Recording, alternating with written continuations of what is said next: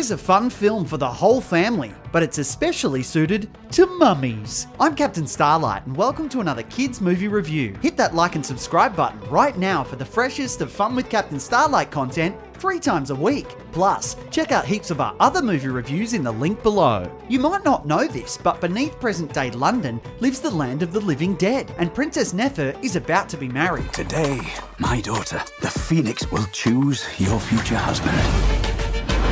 In seven days, you shall wed the princess. Marry? We never even met. Him? I have to marry a guy whose only talent is riding around in a circle. If anything happens to this ring, they will cut out your tongue and pluck out your eyes. Kind of brings new meaning to the expression love is blind. Thut and Nefer aren't too keen on each other, or the idea of being married, so Thut decides to hide the ring. This ring is going where nobody else can get to it. Except he doesn't hide it so well, and it's stolen by the ambitious archaeologist Lord Carnaby. On the other side of this door lies a doorway to a world of living mummies. Would you look at that? A royal wedding ring? No, where's the ring? This could only be the work of.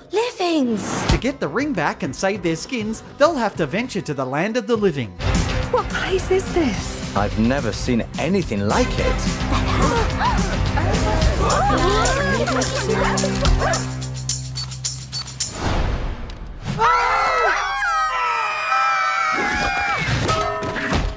Will Thut, his younger brother Sekhem, his pet crocodile and Nefer track it down? I think you'll have to watch the movie to find out. Originally made in Spain, Mummies is a fun, family friendly film, but like a mummy, the story tends to unravel in parts. It also flips in and out of being a musical with no real direction. Like. But hey, who doesn't like a sing along? Parents, this one is pretty safe for the whole family, although it does have a few light references to the gory punishments of ancient Egypt. Fun facts the song Walk Like an Egyptian was originally by the 80s pop group The Bangles. Never heard of them? Ask your nana. The most famous mummy, Tutankhamun, was discovered in 1922 and is the only royal mummy to have been found entirely undisturbed.